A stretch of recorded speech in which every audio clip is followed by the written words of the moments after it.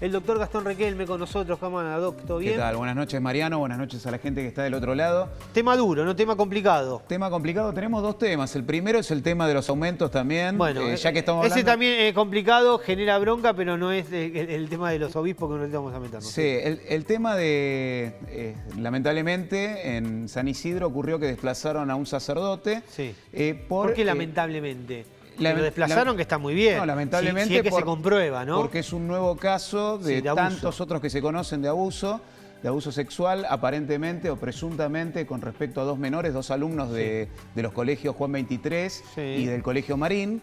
Eh, se de los más tradicionales, por eso por- mucho más el Marín, pero en los más tradicionales de San Isidro ahí estamos viendo imágenes de lo que fue eh, el cura que, que fue desplazado de la iglesia acusado de abuso, ¿no? Abuso a dos chicos. Acusado de abuso y también tiene una particularidad que no es común escucharlo muy seguido. Esto lo decide la justicia eclesiástica. No estamos hablando de la justicia ordinaria, no estamos hablando de un Sí. fiscal, de, de una causa penal, sino la justicia eclesiástica. Eh, las familias de estos dos chicos aparentemente hicieron la denuncia en el Obispado de San Isidro. El Obispado de San Isidro elevó esta denuncia a un órgano que trabaja dentro del Vaticano para este tipo de casos, para este tipo de casos de abuso, y eh, decidió en el año 2014 eh, que se lo desplazara, se le decidieron aplicar medidas cautelares, incluso en este tipo de justicia existen. Eh, el sacerdote apeló esta decisión, también es llamativo que exista el, el recurso de apelación. Es como una justicia paralela. Exacto. Que yo en eso obviamente entiendo cada una situación. El tema de los abusos sobre todo es un tema muy personal y muy complicado. Eh, también me parece que uno de los casos, no sé los dos, pero uno también fue a la justicia ordinaria, porque la, realidad es que tienen que estar en cana estos tipos. Está muy bien que los desplacen, tal cosa, pero si efectivamente se comprueba y un juez comprueba que, porque, a ver, no sirve de nada lo que investigue, las pesquisas que haga esta justicia de la iglesia de alguna manera, o eclesiástica, para la justicia ordinaria. La justicia ordinaria, una vez si no recibe la denuncia, bueno, puede, puede- puede actuar de oficio, pero la realidad es que arrancaría de cero, más allá de las decisiones que tome el Vaticano o, o- o- o la iglesia argentina. No, por supuesto, no tiene nada que ver una cosa con la otra, pero sí por eso es muy llamativo.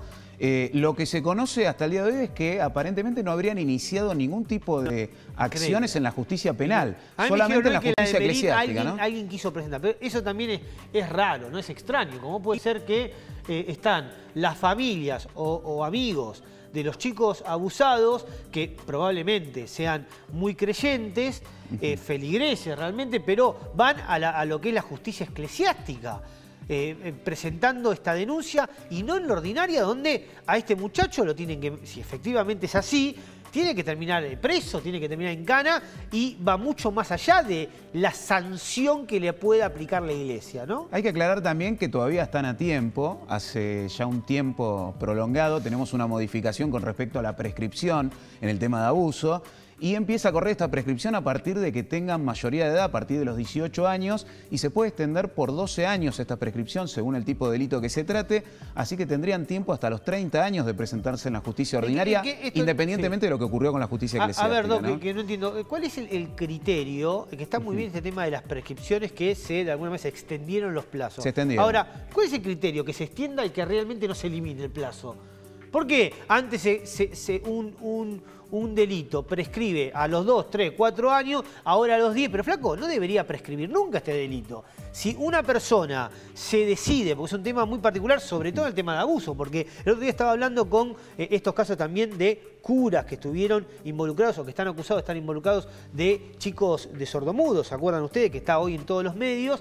Eh, también dijeron, che, pero ¿por qué presentaron la denuncia 30 años después de lo que pasó? Porque realmente es, es un tema personal muy complicado. ¿Cómo hace uno? Hay que animarse, hay que hacer una cuestión de introspección muy profunda, muy, muy, muy clara, como para poder después salir a, a denunciar que uno fue abusado. Y, y teniendo en cuenta eh, todos estos, eh, eh, eh, digamos, características, es muy raro que se prescriba este tipo de hechos a los 10 años, a los 12. No debería prescribirse nunca, me parece. Bueno, cuando se planteó esto de extenderlo a partir de los 18 años en adelante, se había planteado esta posibilidad de que sea imprescriptible. Lamentablemente no progresó, no ¿Y quiere decir que en un criterio? Futuro se haga. Pero la prescripción, ¿cuál es el criterio? ¿Por qué se La una prescripción es que termina una causa por inacción de la parte que no lo denuncia, entonces se entiende que hay que darle un cierre eh, definitivo a una cuestión eh, por una cuestión más que nada, es bastante complejo el tema, pero Sí. una cuestión de seguridad jurídica, de no continuar eh, en el tiempo, en el transcurso de largos años, una cuestión de que si en su momento no Pero fue planteada, disparate, no se vuelva a revolver de vuelta. Con, ¿no? con ese criterio para mí son disparates, ¿no? porque repito, un chico que fue abusado, fue violado a los 10 años, o una nena cualquiera, ¿no? Y que se decide hablar a los 40, dice, bueno, 12 años, que prescribió la causa, estamos todos locos. Bueno, esto, esto no, ¿No? ocurre solamente acá en Argentina. No, no, ¿eh? no digo, no digo, pero es un en. España, en España, por ejemplo, ocurre de la misma manera a partir de los 18 y se está tratando de elevarlo a partir de los 30 que empieza a correr. Entonces esa persona tendría posibilidad hasta los 42 años. ¿no? Claro, claro. Eh, hay que ver lo que pasa acá en Argentina, todavía no está cerrado el debate y por supuesto hay mucha gente que quiere eh, que se establezca la imprescriptibilidad en el caso de abuso infantil. Ojalá. Vamos a seguir con este tema de San Isidro. Fue desplazado entonces este cura Fue eh, por estos dos casos, entre ellos uno de un chico del Marín.